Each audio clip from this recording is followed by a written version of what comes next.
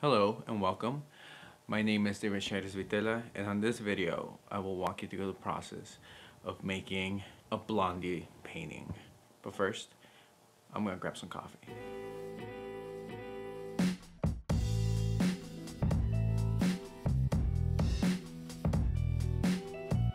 Let's get to talking about the painting. Well, let's get to talking about Blondie, then we'll talk about the painting. And, and when I say Blondie, I'm namely talking about Debbie Harry. I've been working on a pop art series of some of my favorite musicians. Now the list includes people like Prince, Bono of U2, Kanye West. Out of everyone in this series, Blondie would probably be the the artist that I've been listening to the longest. One of my earliest memories when it comes to Blondie, I actually have two and they're both movie related. The first one that I that I remember, one that I remember vividly, or that I think about often, from the Rugrats movie. So there's a scene where the stupid babies, along with, um, I think, I would assume Angelica, they get lost. I want to say that they get lost in the forest, although I could be completely wrong. Being as Rugrats, maybe it was just a park and then they remember it as a forest. I don't remember. I really don't. I've only seen the movie once, maybe twice. I think once.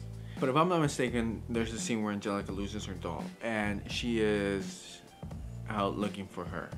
And she's climbing mountains, I think. She's like going through a forest. And so she is persistent. She will find Cynthia.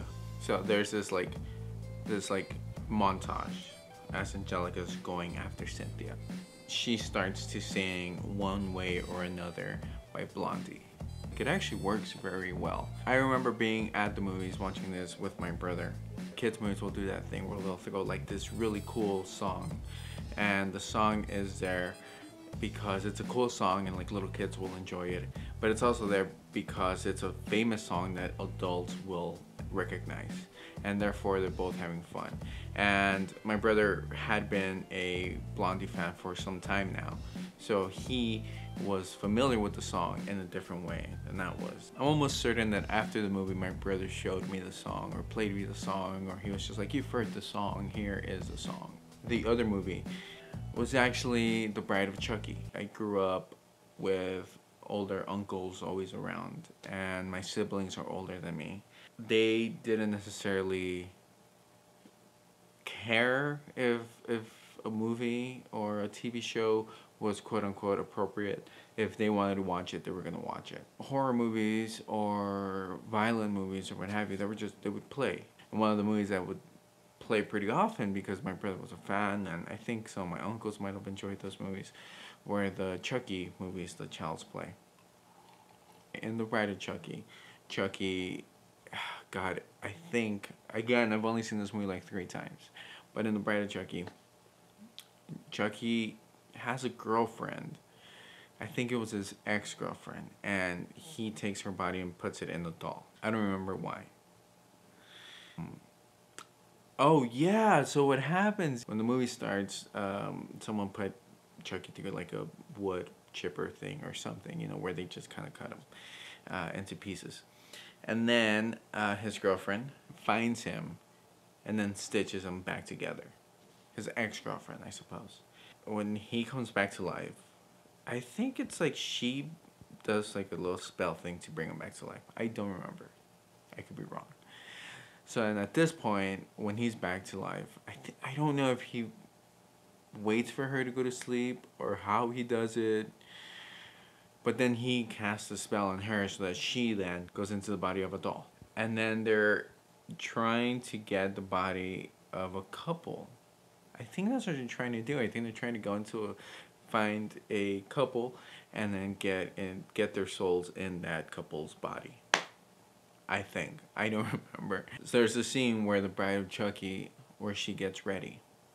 She gets in a wedding gown and she gets makeup on.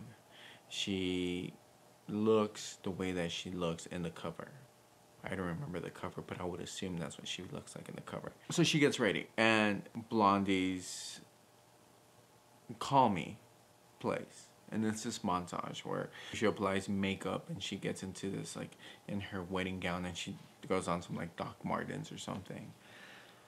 Which in retrospect is kind of ridiculous. I mean, they're they're plastic. They're they're dolls, so they're made out of plastic, and therefore makeup wouldn't necessarily work. They would need something like acrylic paint or or the kind of paint that you could you use in model cars, which might just be acrylic paint. I don't know. It might be like or enamel. I don't know what they would need. So, but she uses traditional makeup. I it when she does her nails, she uses nail polish, which that kind of makes sense. But to put lipstick on plastic doesn't necessarily, doesn't entirely, but quite honestly, there are far more ridiculous things happening in the movie than than this doll applying makeup but that is just the part that I fixated on. But besides those movies, Blondie has always been around. You know, when I was in high school, I, I listened to them a lot. My personal favorite, it's a cover song, Hanging on the Telephone. And then, of course, there's Heart of Glass, there's uh, One Way or Another, Call Me, Denis, Ripper to Shreds, and Rapture. Rapture is a really interesting song.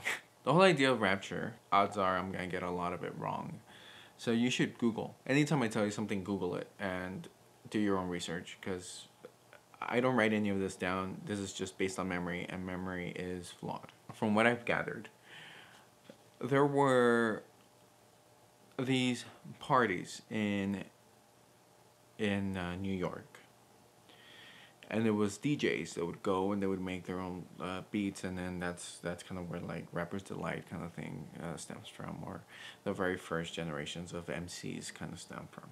But there were these parties. People would go and then they would either freestyle, or they had prepared stuff, but they would go and they would perform, and it was just you just kept going and going and going, and it's kind of like the origins of hip hop, kind of there's more to it. There's a lot more to it. One of the people that would go to these um, New York parties was Debbie Harry. And apparently she got to talking with one of the main people of that circle. And she actually mentions him in Rapture. So Debbie Harry saw this, she thought it was great, and she wanted it to go into her own music. She wanted it to go into Blondie. She wanted it to go mainstream. She wanted it to be more than just parties in New York. That's where uh, Rapture stems from. That's why in Rapture, Debbie Harry raps. It's not great rapping.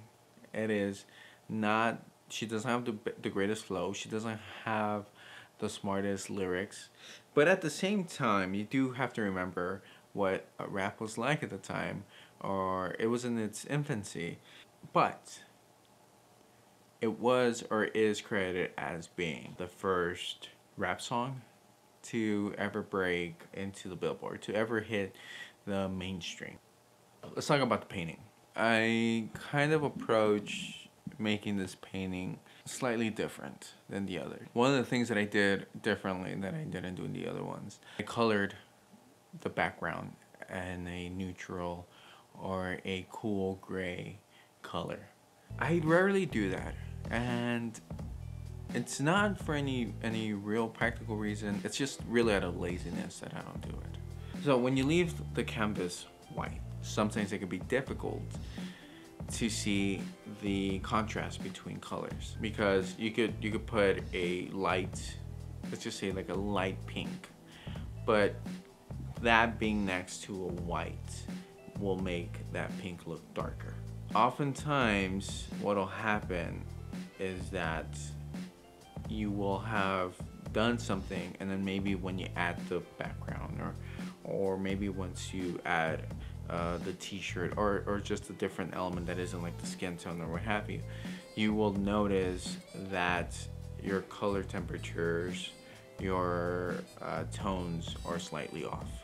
One of the easiest ways to prevent that from happening is to color the canvas in a neutral color. One of the reasons why I decided to go this route this time, it was the last painting in the series. I was short on time. I had to make sure that the colors I set down were correct from the get-go.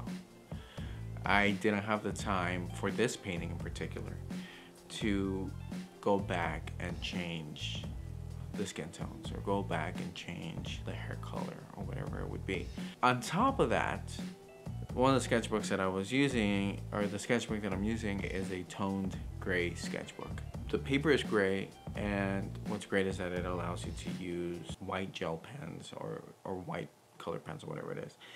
And also you get to use the darks and it's this way of when you're drawing, you're figuring out the lights and you're figuring out the shadows and you're figuring out the midtones all at the same time. With that sketchbook or just having done a lot of work in that sketchbook at this point, I, I started to see the benefits. The benefits of having a neutral color as your base. The first thing I did was kind of lay a sketch down. The sketch, again, is just for me. The way I'm using it is as a way to know where the darks are, where the lights are, where composition goes, that make sure that everything is proportionate. And it's, it's a way of measuring for me. One of the things that I did in this painting that is very different from the others, even though it's the same series, I felt that every painting deserved to have its own flair, if you will. I've always really enjoyed the way fashion designers draw. I figured this would be a good time to do something similar, something in that vein. I wanted to look like not necessarily a realistic portrayal of Debbie Harry, but almost like a fashion drawing, a fashion painting of, of Debbie Harry. The neck is longer, the limbs are, are longer than they should be. They're a little bit more edgy. The jaw's a little bit stronger. She has a strong jaw, but the jaw's a little bit a little bit stronger. The way the colors were made, it was it was with fashion illustrator in mind. Whenever I'm painting from a picture, one thing I like to do is to just get the picture and then turn it into black and white. That way the only thing that you see is value. You see the lightest are the lightest and the darkest are the darkest. And then from there, you can use the colors. And with the color, you get to say where the value is. You can make the lighter lighters and you can make the darkers darkers. And in doing so, it doesn't necessarily will matter, or it doesn't really matter what colors you use. All that it matters is the value of the colors, which are the darkest, which are the lightest. So with this Debbie Harry painting, I wasn't necessarily thinking in terms of skin tone. I was just trying to think of a way to make Debbie Harry kind of pinkish, kind of like a pinkish hue. Not like the way the La Roux painting was, but something, again, still thinking in terms of a fashion designer, fashion illustrator. Since this was a much more stylistic painting in the, in the sense of the way the body and the proportions were made, proportions weren't a big concern. The biggest concern with this painting was just value. Because I painted the, the, the canvas in a gray neutral tone, that was actually kind of easy to accomplish. The background originally was just going to be this blue thing, but with the shirt being red, the hair being yellow, background being like a sky blue, that was already like three of the primary colors, which are three colors. And it just I didn't like the balance of it. I wanted there to be a, a different color uh, tones and, and, what have you in all eight of the paintings. But at the end, honestly, the pink worked the best. And I actually liked the blue, but in a weird way with the blue, it looked really cartoonish.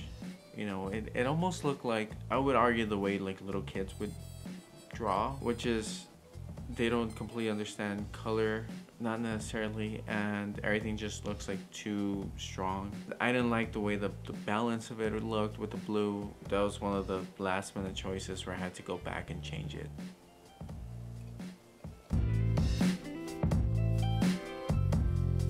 Overall i had a really fun time making this painting it was actually pretty simple to make. It was a lot of stylistic choices with the anatomy of it, with the proportions of it, and because of that, it wasn't that difficult.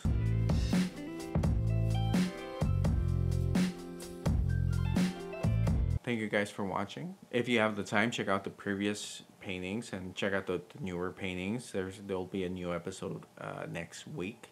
In the meantime, you could just check out my social media links. They're all down below.